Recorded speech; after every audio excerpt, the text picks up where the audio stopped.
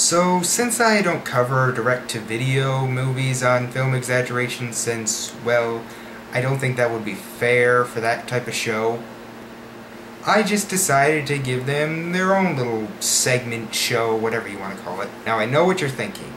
Norty, every single one of your shows is exactly the same. Boom. Now I'm on my bed. Completely different now. So I've decided to name this little segment, show, whatever, NDTV, which stands for Norty's Direct to Video. Yeah, it's not that creative, but neither are the titles for the rest of my shows, so. Mostly in this show, we will be looking at rip-offs, like from The Asylum, or direct-to-video sequels, like from Disney. Today's movie lands in the former category. Not from The Asylum, but a rip-off. Spider's Web A Pig's Tail is a low-budget animated movie that coincidentally came out the same time as the live-action Charlotte's Web movie in 2006. This is not a Video Brinquedo movie. We may see one of those some other time. But this film is brought to us by Sparkplug Entertainment, who have made films entitled A Car's Life and Plan B. And really that's about it. Now this movie is horrible. Absolutely horrible. But in being so terrible, it has become absolutely hilarious. So I guess you can call this my fun series. But let's not waste any more time. Let's dive right into this horrendous piece of pig vomit. So we start at what in the holy hell? We meet a bunch of farm animals, all of them with terrifying bug eyes. Only a few of them are really important. Walter the pig, and Tiffany and Crystal the spiders, who for some reason are ghetto and British. Tiffany, why can't they do this somewhere else? Crystal, oh shh. I am thankful. For what, Walt? For, for everything. yeah, I'm thankful for being on this farm that'll eventually sell me off for bacon. They go around saying that what they are thankful for. The horse sounds like he's dying and... Ah! Walter tries to get a French bee to lie about pollinating, but the bee refuses. I am not a wasp. Wasps are dirty and selfish. You waspus bastard. Wow, that was really bad. Shoo, shoo. Ugh, later, pal. Did he just say mater, pal? Later, pal. So, matey. Average intelligence. Walter's mom notices the pie she baked. How she baked a pie, I'll never know, but she suspects Walter of eating it. Mom, I almost gave my life protecting the pie. Ah! Oh God, my heart! Here's what happened. Beneath falling leaves, the pie was vulnerable to... No, I'm not going to listen to this little bastard do a rap number. In this rap, he says that a bunch of UFOs came down and, thinking that the pie was an enemy ship, blew it up.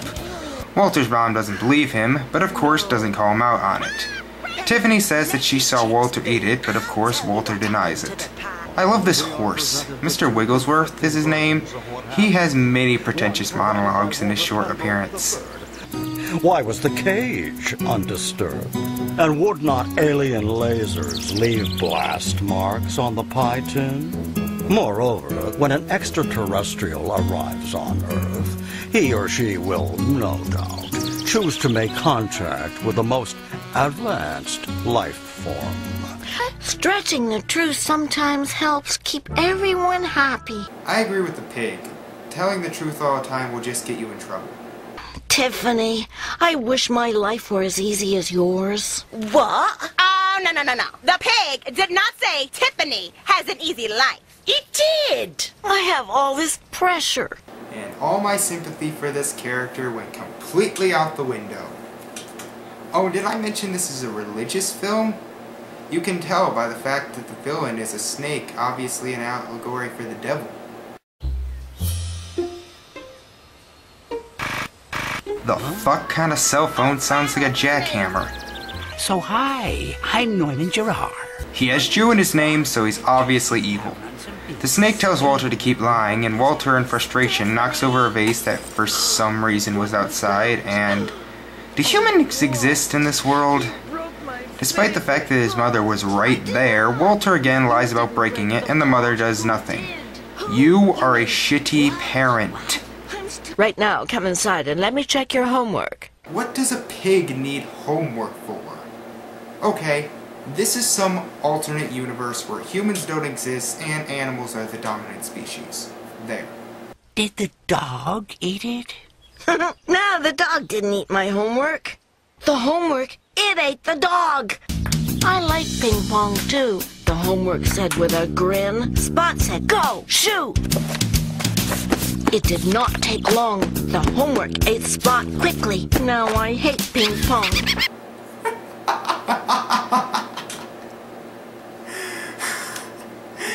It had a mouth! Why was it using the pages? This isn't like the book from Harry Potter. That's what happened to Henry. Your cousin Henry? He was an excellent student. then one day he just disappeared. Henry, the homework did not eat Henry. The farmer did. So there are humans in this world? And that will make it much less sense later. Haven't you noticed that your relatives all go missing on Sundays around dinner time? Huh? Well, that was just cruel. The snake tells Walter that he can take him to Viperwood so that he can become famous. The mother, of course, allows this, proving once and for all that she is the absolute worst parent in the history of ever. The snake drives in his car. How, seeing as he has no arms or legs, is never explained. And that night they stop at a motel where what the fuck is that? Calm down, Lucy. It's dinner time. No.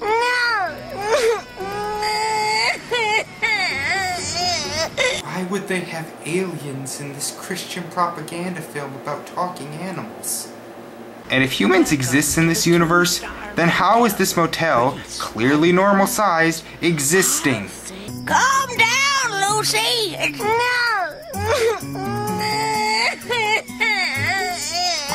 They just recycled the same voice dub.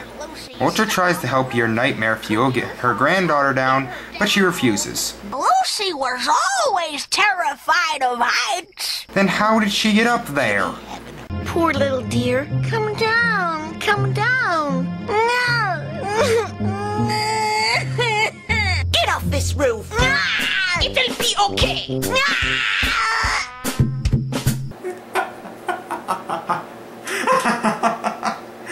That was one of the greatest things I've ever seen in my life. The group goes to check in where we find more creatures that are unidentifiable, but the snake's credit card is declined. Next. I have a reservation. Dr. Pretentious. I got nothing. The group is invited to room with Lucy and her grandmother, and the only rule she gives them is not to turn on the TV. And if I saw a TV with eyes, I wouldn't turn it on either. Of course, the snake does turn it on, and the TV naturally comes to life and starts destroying the place. The group runs out, leaving Lucy and her grandmother to die in the destruction. Our heroes. They get to a gas station, the snake is denied again, and they are forced to steal the gas. Don't worry, Walt. I'll outrun them.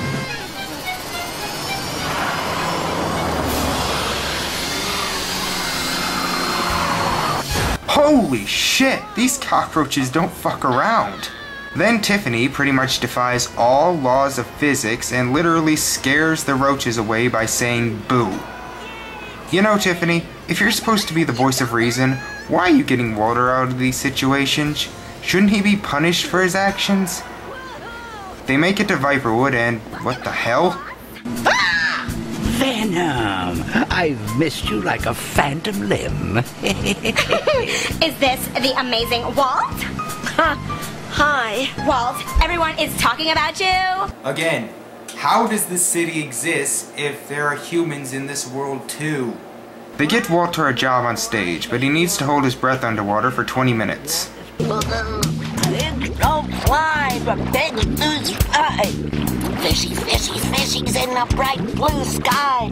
I don't care if this is a cartoon about talking animals, that's physically impossible. He blows it, most likely killing an innocent fish, so they try to get on television, which they manage to do by saying he runs marathons. So he gets a job on a game show. We allow a friend to help out. Me?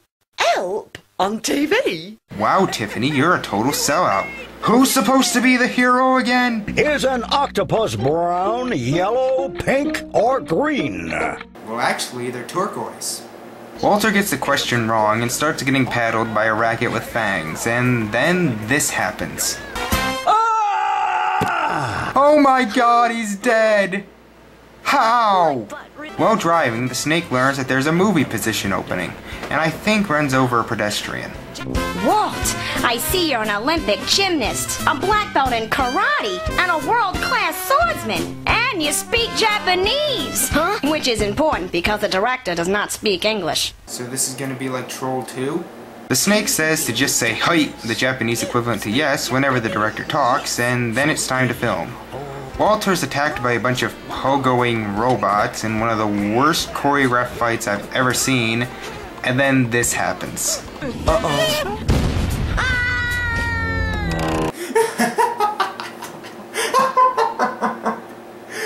That was great. That was absolutely amazing.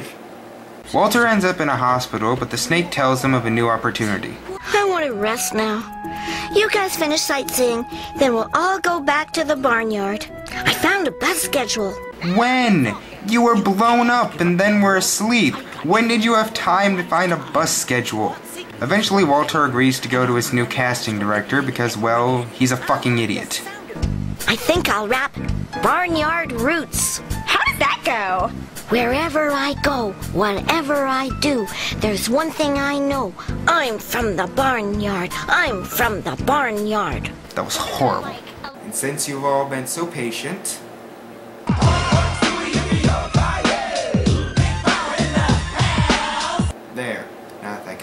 joke out of the way, let's continue.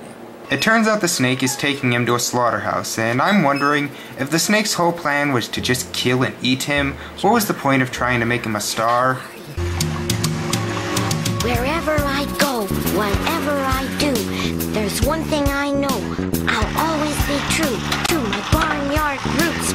I'm from the barnyard. I'm hmm. the wed to my barnyard roots. I'm from the barnyard. Some kids say, who cares? Some kids say, forget. Yard. I'm from the barnyard. Damn it! So the bee stings the snake right in the neck, and Walter learns that he is actually a wasp. I totally forgot that subplot. The snake loses all feeling in his body and can't answer his phone, so his career is over. And Walter manages to escape. How? We never find out. Walt, when folks start lying, they often don't know when to stop. Yeah, which is why it's better not to lie at all. Shove it down there. Shove it way the fuck down there. Oh, you want to know the really good reason never to lie? Yes, yes. Walt, a liar needs a really good memory. Oh. Like when you said your mother's pie was cherry, you didn't remember that only the pig who ate the pie would know that. Remember, kids, it's okay to lie as long as you get your story straight. Back at the barnyard, we see that Tiffany is the new host of the paddle show after the previous host's untimely death. And the first contestant is the assistant Snake Venom. If you paste two triangles together, what shape do you get? If you don't know, we'll go on to the next question. I do know. Two triangles together is a circle. A circle? Venom, you are tripping and lying. She wasn't lying, she just really is that stupid. Walter learns not to lie, the credits roll with characters not really dancing, just sort of shaking, and we see that the movie is dedicated to the voice of Mr. Wigglesworth, and I become depressed. Well, that was just horrendously bad. But it was funny as hell. Everything about this movie is terrible. The animation, the acting, the characters, the plot, the consistency, everything is horrible. But in being so horrible, it becomes something so hilariously awful. I had a blast watching this movie, and if you want a good movie, look somewhere else. But if you want a fun movie, check this film out. You can find it on YouTube. Thank you all for watching, and I will see you next time. Bye.